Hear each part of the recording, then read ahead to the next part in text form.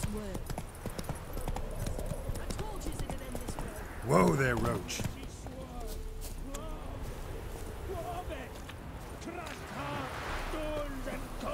That's what!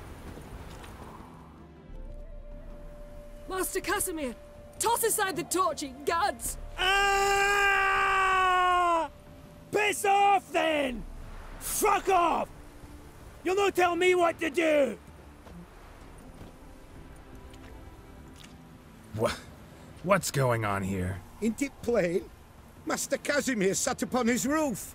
Claims he'll blow himself to bits. Bought the wench pearls, silks, satins, and how the fuck she repaid me? Made me a heat banger cuckold! Huh. A falling out in the family? Aye. His Euphemia, she were fine. Pretty as a picture, you might say. And five bairns they has. On the short side, but so well mannered. Always bow, ask after your health. Not at all grumpy like the Elderman's laddies. Till the day Euphemia bundled up her belongings and their bairns, tossed 'em all on a wagon. And that's all we've seen of her. Master Casimir's been pure yampy since. Bawling, whinging. Now this. Ah, this'll be one for the ploughing annals! Going out with a bang! When this fucking blows, they'll see the fires in Novigrad!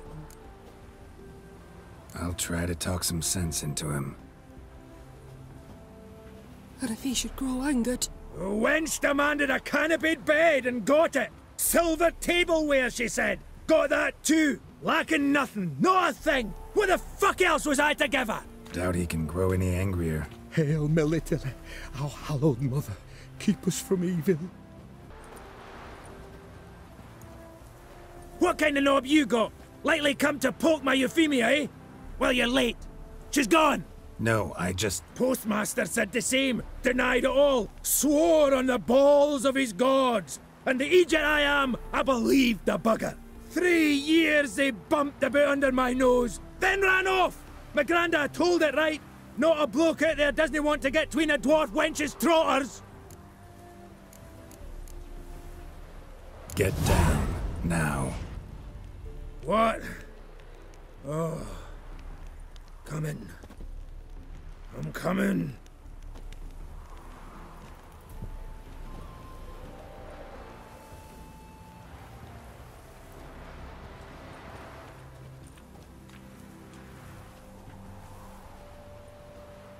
So, uh. what is it you wanted?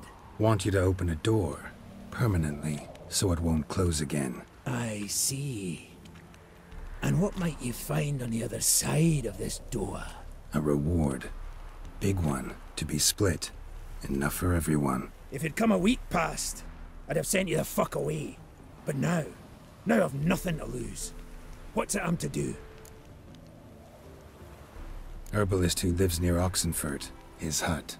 Go there and ask for yarrow extract. Learn all you need to know. Clear? And uh, might you be headed there about now? Because if so, we could head there together, eh? Hmm.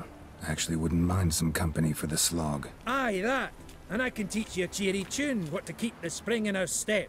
It starts like this.